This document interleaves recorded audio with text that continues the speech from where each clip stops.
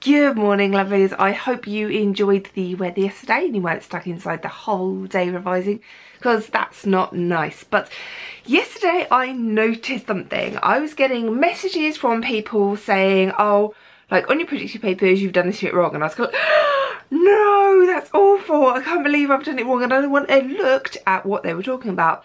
And it wasn't that I was wrong, it was that they had misinterpreted the advanced information. Now, if we think about the, the few people that are actually going to bother to email me or message me and tell me this, um, out of the few people that actually pay attention to me and you multiply that up by the people that won't message me and the people that like don't actually pay attention to what I'm doing there are loads and loads and loads of you out there who are misinterpreting the advanced information and revising the wrong bits or leaving bits out that you shouldn't be leaving out basically. So um, I don't think I've ever asked you guys to do this before, but this is a really, really important video. So if you know somebody who is going to be affected by this, please could you just share this as widely as possible to make sure that people don't revise the wrong stuff.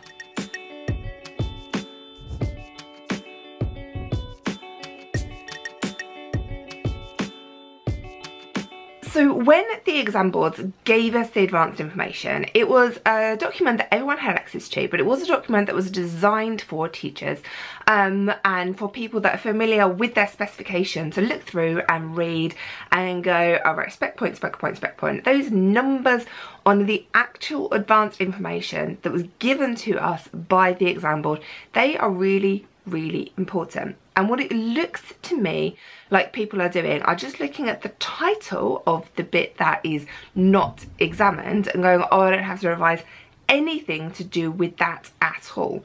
When in actual fact, you do. You don't need to revise the specific spec point that has that title, but if we're looking at everything else that includes that, that topic that has that title, it comes up in lots of different places, so you do need to revise it.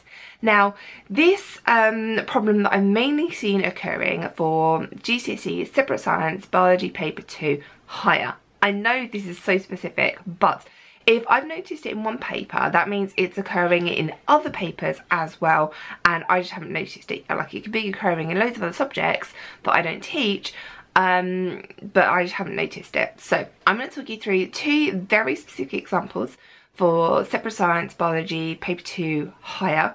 I know this is so specific, um, where I've noticed that people are misinterpreting the advanced information and leaving out stuff that they should be revising.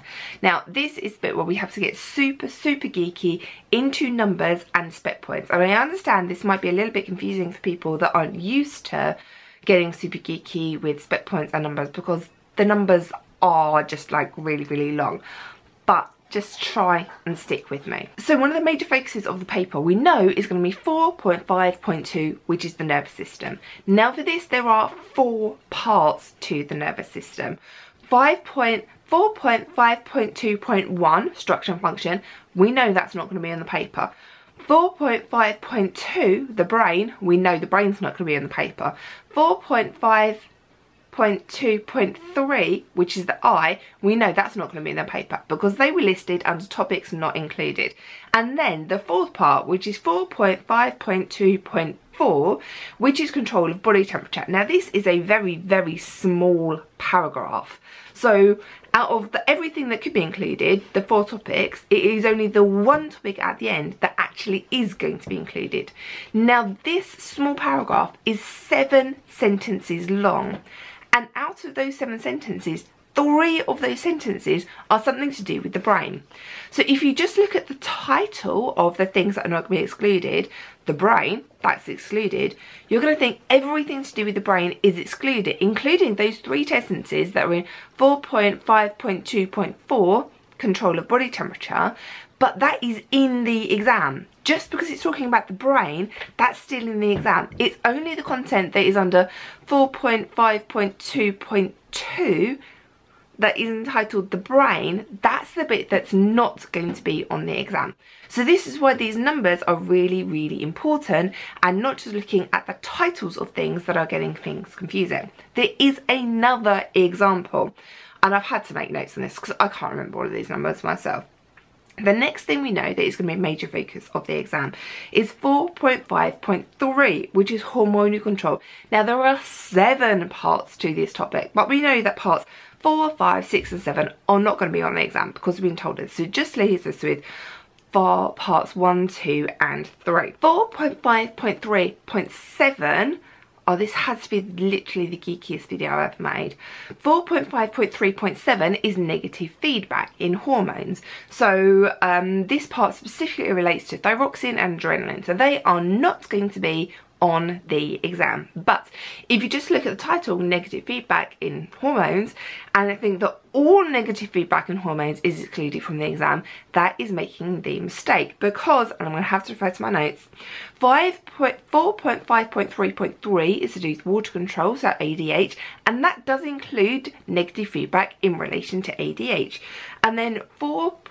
5.3.2 is control of blood glucose and that also includes negative feedback in relation to control of blood glucose. So basically look at spec points, not just the um, the titles of the bits that you could be revising. So I completely understand how this happens because the numbers are just really teaching. If you've never like I do, don't spend a lot of time really delving into the spec and what it actually means, then those numbers, I mean, you're just going to ignore them and assume that everything to do with the brain or everything to do with negative feedback is out of the exam. But it's not. It's that specific little paragraph, page relating to that number of spec point that is not going to be included in the exam. Um, everything else around that topic could potentially come up in the exam, especially stuff to do with the brain, where the bit that we know is going to be one of the major focuses exam is such a short paragraph. It's only seven sentences, and this is listed as one of the major focuses. So um, you can't completely ignore the thermoregulatory centre um, just because it's in the brain, because it's so likely that that is going to come up on the exam and I can just see so many students not revising it because it's part of the brain. When we know it's going to come up um well we know it's going to it's listed as potentially coming up.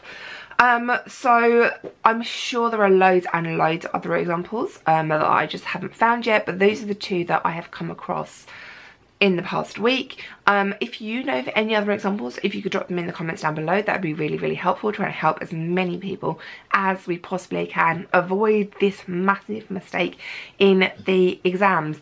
Um, good luck with your revision this weekend, guys. Um, if you're watching this over the bank holiday weekend or if you're watching this just before biology paper 2, good luck with your exam tomorrow. Um, we can do this. Ouch!